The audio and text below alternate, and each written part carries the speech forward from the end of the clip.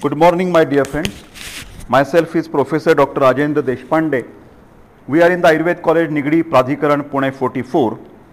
Today is a Thursday, that is 28th of the March 2019, and today's audio session is research book, rather research methodology audio book. The main title is audio book about the research methodology part 4. Audio book of research methodology part 4. I request all the listeners to go through the part 1, part 2 and part 3. All these lectures about research methodology will be definitely helpful for the all postgraduate students who are doing MD or MS in Ayurvedic colleges throughout the India. Actually, this audio book is based on one book which is called as a research methodology and medical statistics which is published by Manakarnika publication Pune, Maharashtra state, India. Myself and Dr. Anade are the editors and Dr. Sachin Sarpotdar, Dr. Santosh and Ila Bhor are the authors. We are first beginning the primary understanding of the syllabus which is chalked out by CCIM that is Central Council of Indian Medicine and in the research methodology syllabus they have the 15 points and in medical statistics also they have the 15 points. Titles once again for the fast revision of research methodology 15 points. First introduction, second general steps in the research, third preparation of research proposal, fourth scientific writing, fifth classical methods of research, sixth comparison between methods of research, seventh different fields for the research, eight literary research, nine drug research, 10 safety aspect, 11 introduction to latest trends in drug discovery, 12 clinical research, 13 pharmacovigilance, 14 bioinformatics. and 15 IPR intellectual property rights. After getting these 15 main headings, I have also discussed the sub points in each main heading. And we have completed nearly first 8 big titles and today I will discuss, not discuss actually, we will understand the sub points in the main titles of 9th, 10th and 11th. Ninth point mentioned in syllabus is laboratory based drug research. Laboratory based drug research naturally you can call it as a preclinical research. Remember there are always steps preclinical, postclinical and post marketing as well. So these are the steps of any new drug development. So what are the points the CCIM is expecting in the drug research? First, we must identify from where we can procure the drug molecules or the medicine molecules. Where we can get these molecules? So either if you are Ayurvedic person or even the modern people, they first look for the herbal origin or plant origin. So this is the rich source from where not only Ayurvedic people, the modern people also have discovered many molecules from the plant. The famous example is about the lanoxin or digoxin. The basic source, of course now it is synthetically available, but basic source was digitalis plant which is herbal in origin. I will request my MD students to go to the Google. Google is the best search engine and you have to give the title the modern medicines developed from herbs and you can send me the link modern medicines developed from plant origin or herbal origin So we can immediately find out which drugs are developed from which plant and that is very interesting information. Second, we have the animal source. Animal source may be like you can say the simple product like milk, ghee, skin, then different organs like liver, then also horn, for example, mruga, shrunga, basma. Ayurvedic people, everybody knows this word. Mruga, shrunga, basma is a processed ash from the deer, DWR, horn, chinga. Next, uh, also Mayura Picha Mashi. This is animal origin. Mayura Picha Mashi. Again, Mashi is a black ash prepared after the lot of fire and lot of burning. Mayura is a peacock. Picha, feathers.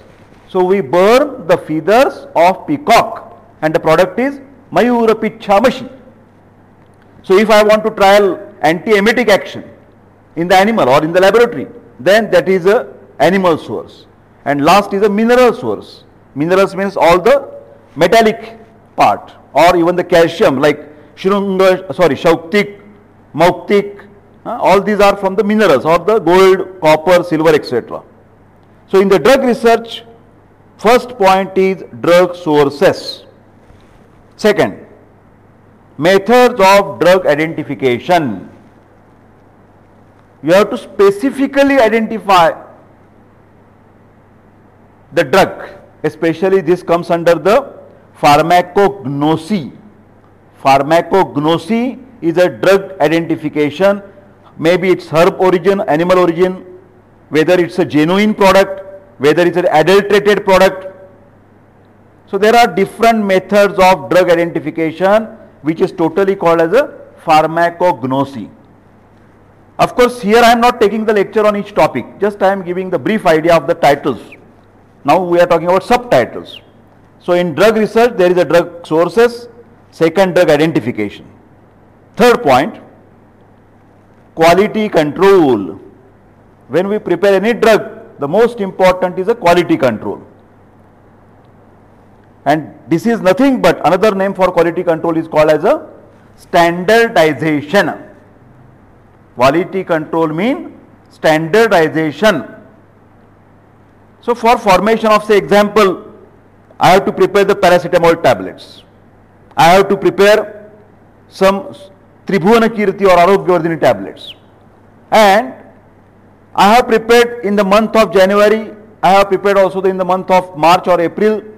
And when I gave it to the, my patients, I found that Arogyavardhini prepared in January had a better result, uh, results and prepared in the March is not having that much good results.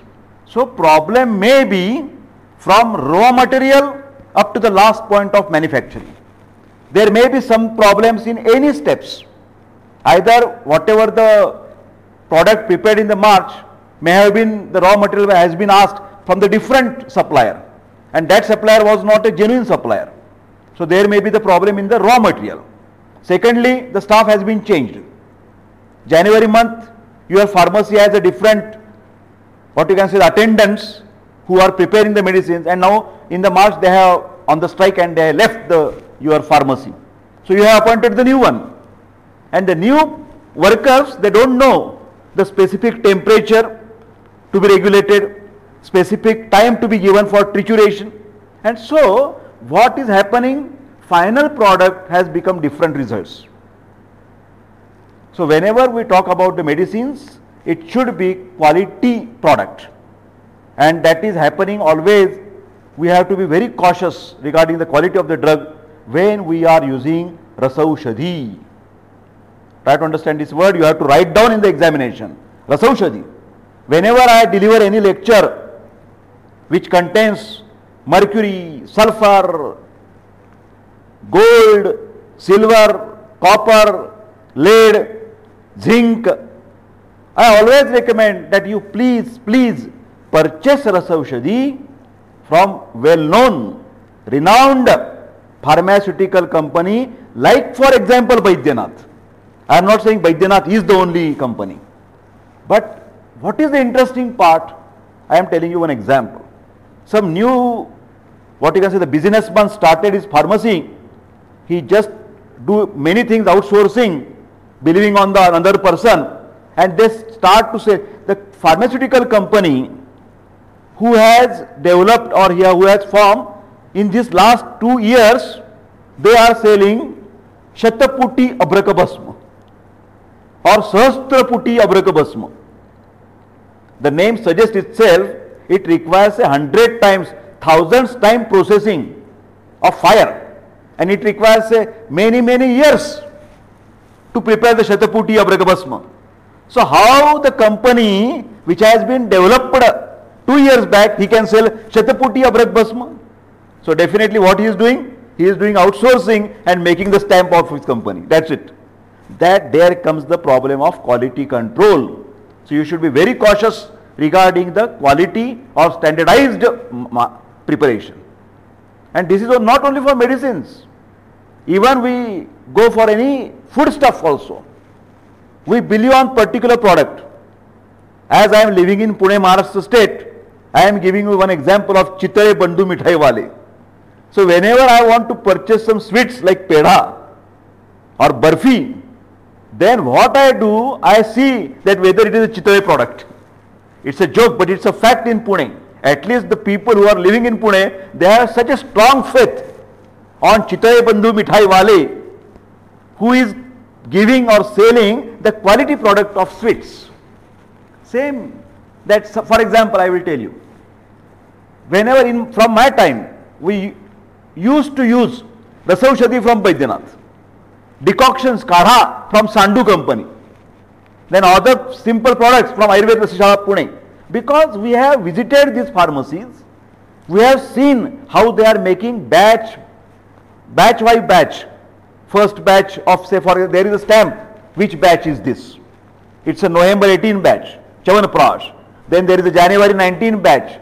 So every batch they have the similar external appearance, its color, texture and also the effect is the same. That is called as a quality control and standardization. We will see later the details. In quality control or standardization, the MD students must know basic knowledge about pharmacopoeial standard Pharmacopoeia. This is the new important word. Pharmacopoeia. These are the books published by the Indian government. Hmm?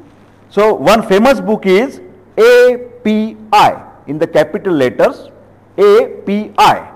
Every MD student, whether he is from the Dravya Guna Vijnana, Rasashastra, Surgery, Physiology, Siddhanta, but whenever he is studying research methodology subject, it is mandatory for him to visit to the library and see what is that API, Ayurvedic Pharmacopoeia of India.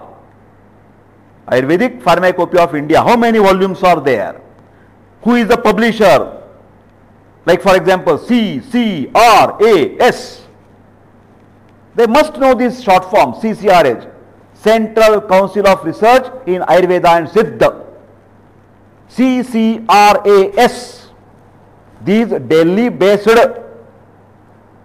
capital institution which is governing all the Ayush researchers, Ayush drug. A, Y, U, S, H. They are controlling CCRS, Central Council of Research in Ayurveda and Siddha. Every MD student in one of his lifetime during the three years, he must go to the Delhi. He should visit a study tour to see the office of CCRAS, to get the information about that CCRAS. CCRAS has a different research centers all over the India. And they are also doing some clinical trials of the different drugs. But they have published lot of books. So every MD students must procure Fortunately, Ayurvedic College Nigadi Pradhikaran has a very good compilation, purchase of all CCRS books. So you go to the library, visit to the Chavana madam in the librarian and request her, please give me on my pen drive all the list of the books published by the CCRS and which have been published, purchased by the Ayurveda College Nigadi. This is mandatory. So, then only you can understand this concept of API. What is that API?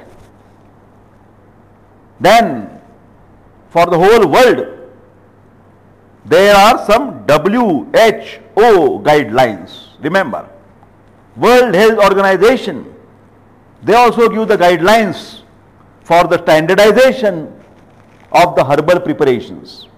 Standardization of herbal preparations. Then in standardization process, whenever you want to develop some standard new drug, the place, the place where that drug is manufactured, so that company now should be standardized. So there is a registration of any pharmaceutical company with the government of India and they give license to this particular pharmaceutical company only if, only if underline, they are following what the standardization methods in their pharmacy and that following that rules is called as a GMP. GMP. Remember this word, good manufacturing practices. GMP, good manufacturing practices means the standardization from raw material to the final product. Remember these words, North Pole and South Pole, raw material to the final product. We have to check each and every step for the quality of the drug, for standardization of the drug. Like GMP, that drug is tested in the research laboratory it is not necessary that each pharmaceutical company should have the laboratory. But nowadays, nearly all known pharmaceutical companies like Himalaya, like Charak, like Baidyanath, like Sandu, like Ayurveda Rasashala, each company has its own has its own R&D. Remember this word R&D section, research and development section. And that R&D has a good laboratory which should also follow the GLP. Remember this word, GLP, short forms. MD students must concentrate on the short forms and the long form. GLP, good laboratory practices. Good laboratory practices. That laboratory may be the research lab or that laboratory may be the checking of the, your blood, urine, stools, etc. That means human physiological laboratory or pathological lab. So that pathology lab also and your research lab also. What they should follow? They should follow GLP, Good Laboratory Practices. So this is all about the ninth point mentioned in the CCIM syllabus, drug research. Now I am going for the next tenth point in the syllabus, safety. Safety. Actually any medicine in the world, it may be the allopathic, it may be the Ayurvedic, it may be the homeopathic, any medicine should have the basically two important aspect. One is the safety and another is the efficacy. Then only we can call it as a medicine safety plus efficacy. All the time you use these words safety, efficacy, safety, efficacy, safety, efficacy. Of course, safety is first and efficacy is second. Don't ex exchange. Efficacy is not more important, safety is more important. Remember. So, in that safety aspect, the most first part is regarding the toxicity study which we most of the times do with the animals. Preclinical animal experiments are basically done for toxicity studies and that toxicity is done in three ways. acute toxicity, subacute toxicity and chronic toxicity.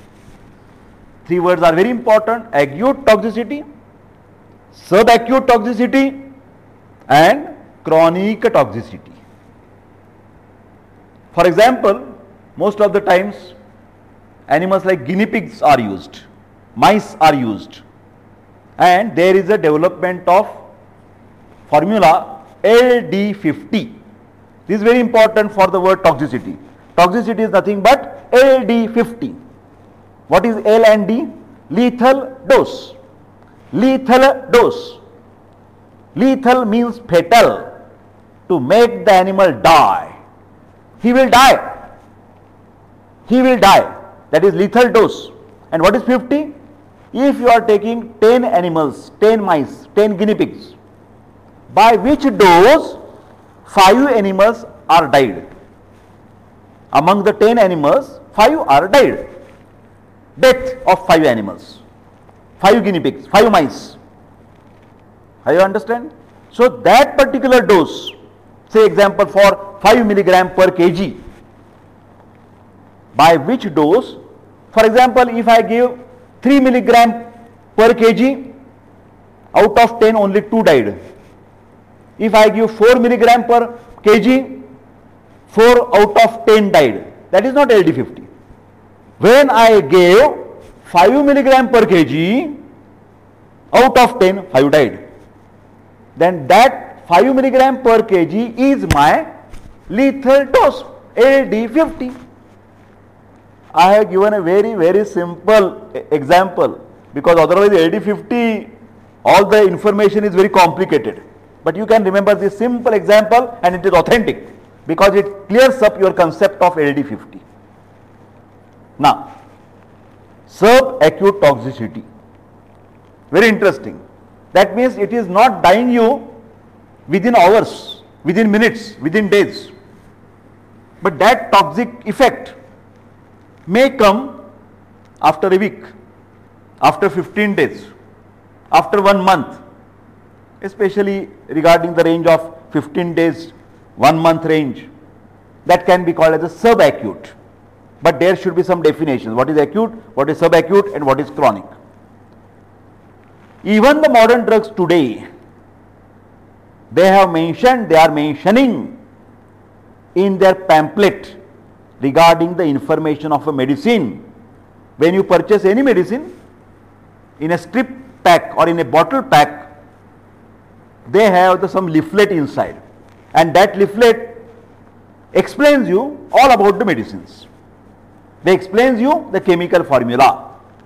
That leaflet explains you chemical structure. It explains you the doses.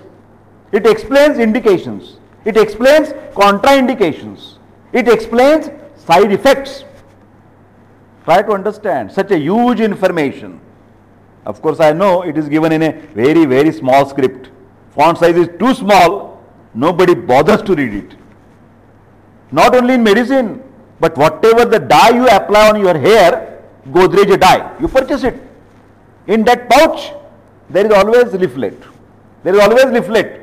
So it is better to read that leaflet. But many times that advice is already given to the patient by a doctor. Or otherwise, when doctor is using himself, he knows. For example, I am giving injection of penicillin. Doctor is giving injection of penicillin. Doctor is giving injection impferon. IMFERN, injection for iron, for hemoglobin, for anemia. Injection Jectofer, J-E-C-T-O-F-E-R. Same like Imferon, same. Imferon and Jectofer for the anemic patients, intramuscular. If I am giving the injection of streptomycin in tuberculosis patient, if I am giving any anti-sera, anti-snake venom, whenever I am using these injections, first I should do, doctor should do sensitization test. So these injection given AST. AST after sensitivity test. In olden days we call it as a ATD after test dose. Now it is called as AST after sensitivity test. Why? Why I should do it? Because, because these drugs are known. Penicillin, streptomycin, imferon, B1, B1. Remember the name Neurobion. Don't forget it. Write down the example in examination.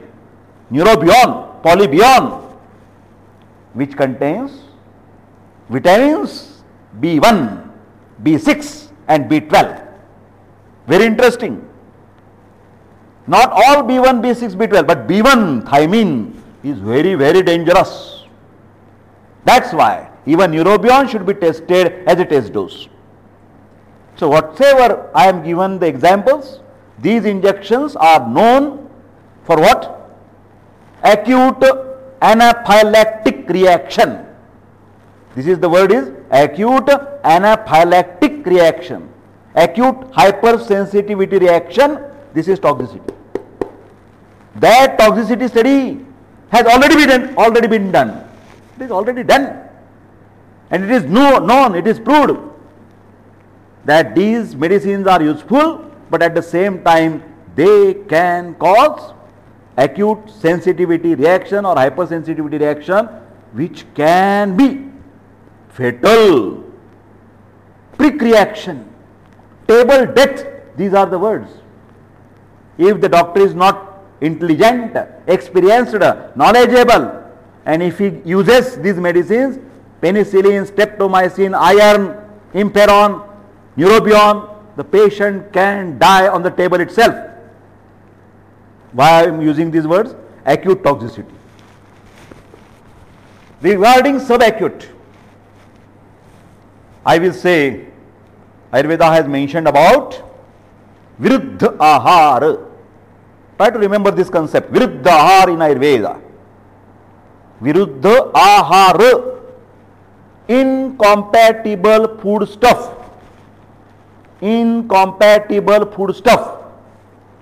That means whenever I mix two food elements, food substances, independently they are good.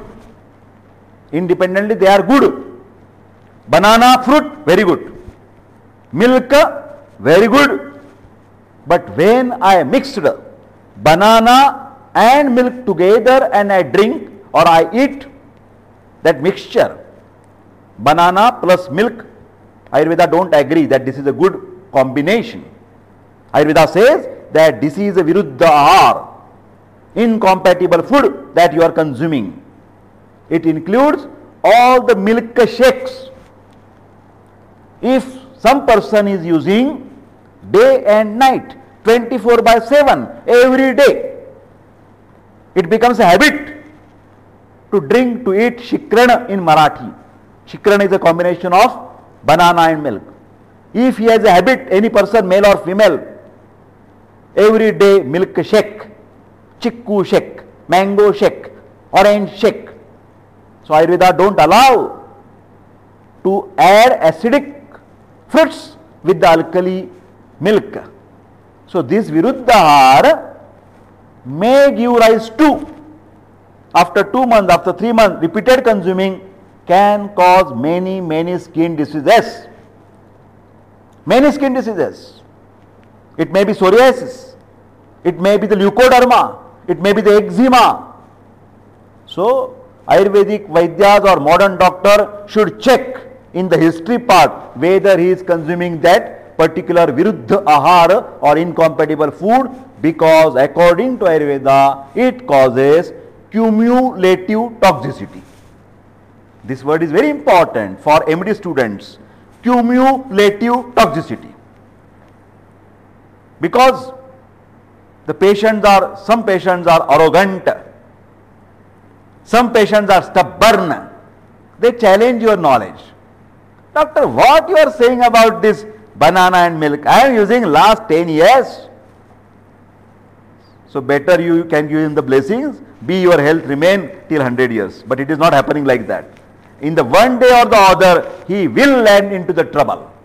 And then there may be the situation modern doctors cannot find any reason. They say this particular disease is idiopathic. My dear friends, whenever the modern doctors find idiopathic, Ayurvedic knowledgeable Vaidya can find some defect in the food or some defect in the lifestyle. Remember this. So modern medicine call it as idiopathic, but Ayurvedic Vaidya, Ayurvedic intelligent doctor may call it as a problem with the wrong food eating habit or wrong food stuff or wrong lifestyle. So I have given you the example of subacute or the chronic toxical studies. For the chronicity, even the modern doctors, researchers, they are very well aware. In the chronic toxicity studies, they are very well aware. They are aware. And that is why in the clinical trials, they say there should be post marketing surveillance. Very interesting word. Post marketing surveillance. That means whenever the drug, after lot of research, land for the marketing, for the business purpose, they just don't leave that drug. No, no, no. There are lot of research laboratories or the institutions, they conduct post-marketing surveillance. They observe these patients and they see whether that patient get any side effect after 5 years, after 10 years, after 15 years. And if they found this particular effect, they immediately add that effect in the leaflet, in the pamphlet, in the information about that drug. And here comes the effect which is called as a teratogenic effect. Teratogenic or carcinogenic, these words are very important any medicine, any food cannot develop the cancer in a one night. It will be a long effect of that particular food stuff or the medicine that can terminate into the cancer or that can have the bad effects on the fetal development in the pregnancy. So teratogenic means the bad effects on the fetus in the pregnancy and carcinogenic so this is regarding the toxicity. Then AMD students in the safety profile in the toxicity must be aware, must be aware of the rule 170. Specific code is there, rule 170. These are the guidelines from Ayush. A, Y, U, S, H, all capital. Ayush guidelines. Ayush is a Delhi based institution. It's a dip of India regarding Ayurveda, Unani, Yoga, Siddha, Homeopathy, etc. Ayush. They have CDSCO, CDSCO, short form CDSCO, CDSCO, write down the full form. Central Drug Standard Control Organization, CDSCO. CDSCO. Very popular question during the Viva. What is CDSCO? Tell me CDSCO. They have their own website. They have the multiple, multiple pages of their guidelines. But in my book or in this audio, we will take into account only one simple small examples. But you should must know there are CDSCO guidelines available on the internet. CDSCO, Central Drug Standard Control Organization. Next, OECD guidelines. OECD, OECD guidelines.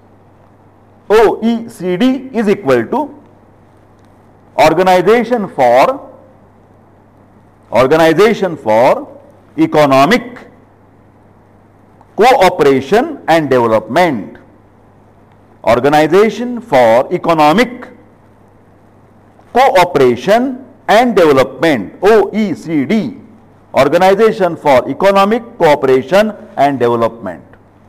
CDSCO, India-based control. OECD, international control. Not for only medicine, but the different consuming atoms. Not only medicines. So, these OECD guidelines are not only for medicines, but they are for general human consuming atoms because all these attempts have some relation with economical progress and development that is why the name Organization for Economic Cooperation and Development. This is international, CDSCO is a local Indian.